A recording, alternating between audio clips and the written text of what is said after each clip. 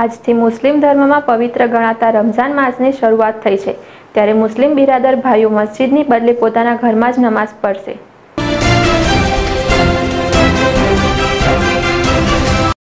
આજથી પવિત્ર રમઝાન માસની શરૂઆત થઈ છે. મુસ્લિમ ધર્મમાં આ માસને ખૂબ જ પવિત્ર માસ માનવામાં આવે છે અને રમજાન માસમાં મુસ્લિમ બિરાદર ભાઈઓ દ્વારા નમાઝની સાથે સાથે રોજા પણ રાખવામાં આવે છે. ત્યારે દર વખતે ખૂબ જ મોટી સંખ્યામાં લોકો ભેગા મળી મસ્જિદમાં નમાઝ પઢતા હોય છે. પરંતુ આ વખતે કોરોના કેર લઈને મસ્જિદમાં લોકો ભેગા ન થાય તે માટે પ્રતિબંધ મૂકવામાં આવ્યો છે. તો બીજી તરફ ધાનેરાની મસ્જિદ ખાતે આજે બોર્ડ લગાવવામાં આવ્યું હતું અને તેમજ દરેક મુસ્લિમ બિરાદર ભાઈઓને જણાવવામાં આવ્યું હતું કે પોતપોતાના ઘરમાં જ રહી નમાજ પઢો અને મસ્જિદમાં આવવું અને હજારોની સંખ્યામાં ભેગા થતા મુસ્લિમ બિરાદરો આજે પોતાના ઘરમાં જ નમાઝ પઢી રહ્યા છે. અને રમજાન માસની ઉજવણી કરી રહ્યા છે. મીડિયા સાથેની વાતચીતમાં મુસ્લિમ બિરાદરોએ જણાવ્યું હતું કે રમજાનમાં એ મુસ્લિમ ધર્મમાં ખૂબ જ પવિત્ર માસ ગણવામાં આવે છે. દિવસના પાંચ ટાઈમ નમાઝ પઢવામાં આવે છે અને રોજા પણ રાખવામાં આવે છે.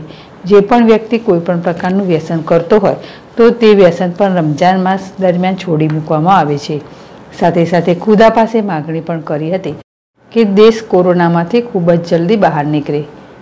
Suresh culture Z S TV, Banaskantha. સમગ્ર ભારતમાં ચાલી રહ્યા છે અને જે આ મહામારીથી બચવા માટે જે સરકારે આદેશ કર્યો એ મુજબ અહીંયા પણ ધાનેરામાં અમે નમાજ ઘરે જ પઢીએ છીએ. બધાય લોકો આજે આ રમજાન માસનો પ્રથમ રોજો છે.